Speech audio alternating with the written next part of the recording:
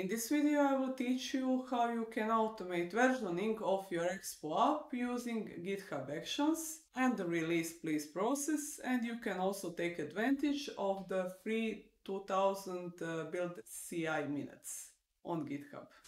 I'm now looking on the Expo dev page, uh, the plans for EAS remote builds and uh, you can get off with uh, free builds up to 30 builds lower priority builds per month up to 15 iOS builds, but uh, I need to warn you they will be very slow. If you want to change to usage based pricing, it will cost you $2 per iOS build $1 per Android build. And uh, beware that uh, by changing to the usage based pricing, you will lose the free plan you will lose the 30 low priority builds per month. I don't like it, not because it's uh, complicated, not because it's uh, expensive, because GitHub uh, will be uh, more expensive uh, after a while. And also it is uh, complicated first to set up, but it's just that I like my process that I've set up a bit more than using EAS. And I'll show you the process that I use so you can decide by yourself uh, which one do you prefer, EAS or something uh, like my process. I compared the EAS billing, so let's now compare the GitHub billing. If you're considering my workflow because it will be cost effective or uh, easy, uh, no it will not. If you're using GitHub Pro or GitHub Teams uh, every month, you should get uh, free CI build minutes. And in that free CI build minutes, if you use macOS uh, build, it will use uh, 10 times as more GitHub uh, CI minutes. So if I have here 3000, it is not actually 3000, it is more 300. It says on the GitHub page, there's a minute multiplier. If you're using something else that is not Linux, your free CI minutes will be multiplied. Usually my iOS build uh, takes around uh, 30 minutes, I don't know why that much, but it takes that much. And with the free plan I can get, uh, how much is that? Around 12 builds uh, I can get in that free plan. And after that I will pay 0.08 per minute of macOS worker. And as I said, if it takes 30 minutes, it will cost me, it will cost me, I believe, uh, 2.4 dollars and it is uh, 40 cents more than the EAS build. So if I were using uh, GitHub uh, to be cost effective, that would be a very bad plan. But I still prefer to use it instead of EAS. Sorry, I didn't calculate for the Linux. So if it was 30 minutes for Linux. Sorry, I didn't calculate for Linux, so if it took me also 30 minutes to build an Android app, it's 24 cents. It is a lot cheaper than EAS.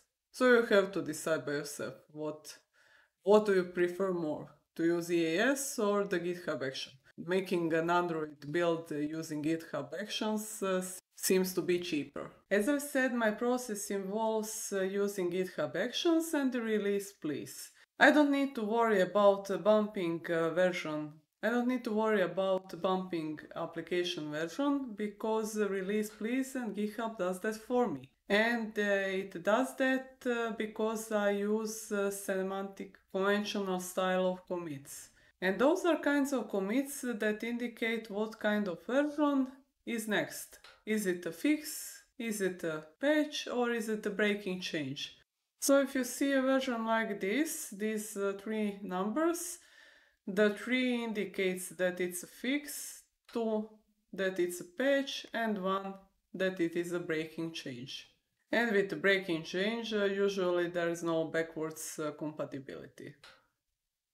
So by enforcing a conventional style of commits, uh, release please will detect if it needs to bump 3 to 4, 2 to 3, or 1 to 2. I don't need to worry about that.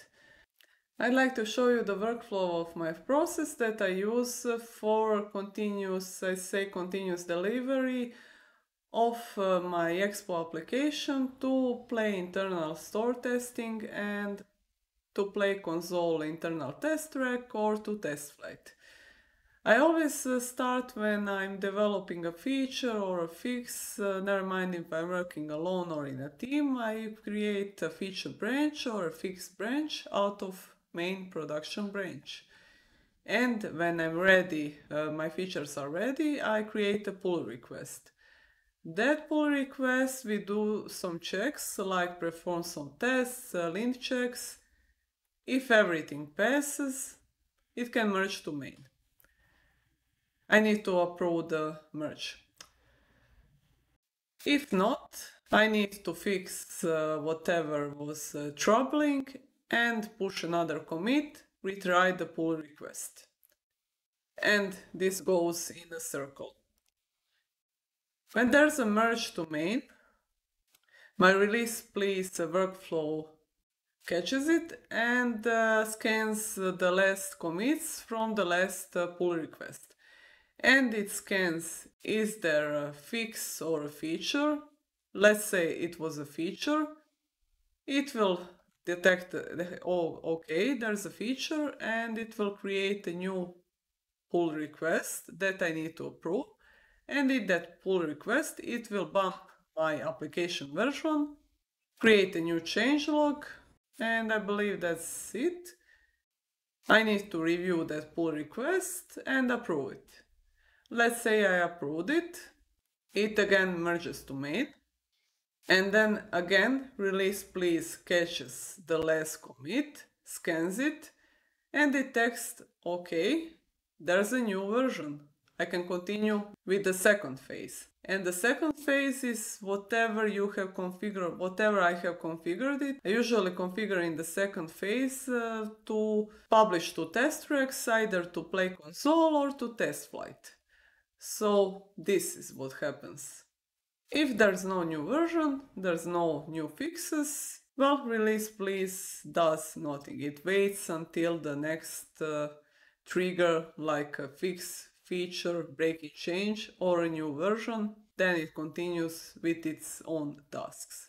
Before all that automating and bumping Expo version, I like to consolidate my version. What I mean by that? If you open your Expo project, you will see four kinds of versions. First version in the package JSON.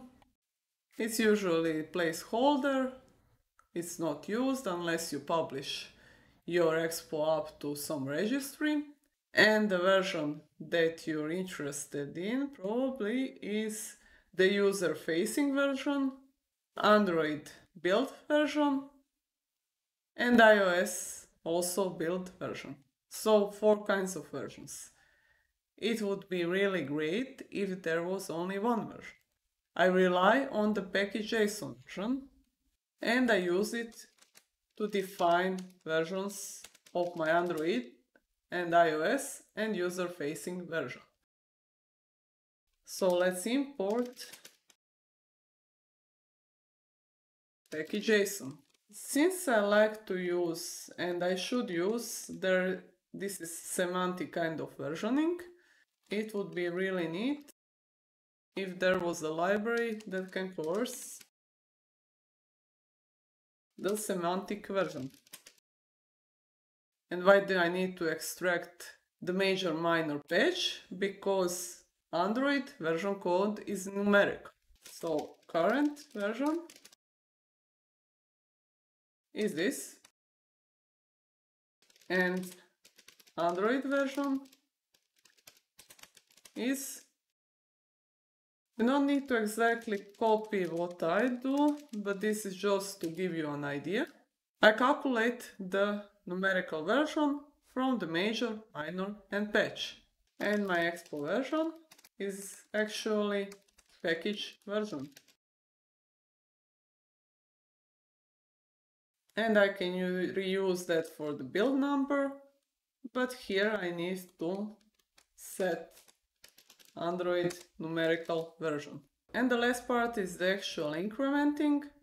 I showed you my workflow in a diagram and what I'm missing, I have over here the checks that, that are performed whenever I do, well, whenever I do a push or whenever I manually dispatch the action and what is missing, the release please workflow. And this is an example of a release please workflow. Important thing to remember, it is triggered whenever a push to main is done. So in my workflow, I did a feature, work on some feature branch, I did a pull request and then I merged to main. That is when this action gets triggered. Permissions to write on contents a pull request, that is to allow release please to create a pull request and to perform some writes in my repository. Writes are version bumps and changelog. When setting up release please, I need to set it a config file and manifest file. Manifest file is the source of truth for the version of in this project of the app. Manifest file is the source of truth for versioning. So unfortunately I have to have versions in two files. Over here and also in this file. But release please will only look at this one. So when the release please decides, hey, it's time to bump uh, next uh, patch version, it will bump, it will take a look at this file, increment it, change it, and then change this property over here. Uh, next file is the configuration file, and it's just a configuration of what kind of project is being bumped. In my case, it is a release type of node. There is a preset in release please that when it detects node, it detects okay, I should bump the package JSON version and I don't know what else it needs to do, but it's different, uh, for example, for a Rust project, for Java project, and all other kinds of release types. You can also set it uh, all kinds of other settings what kind of flavor would you prefer when git tagging? Should the pull requests be separated? Or when the release please uh, does its scanning, how deep should it scan? In my case, I set it to 20 commits depth. And that's it. This video covers automatic versioning of the Expo app. What this video does cover is uh, how to publish to test tracks and to TestFlight because it will be a topic for another video. I hope this video was useful. Thank you for watching.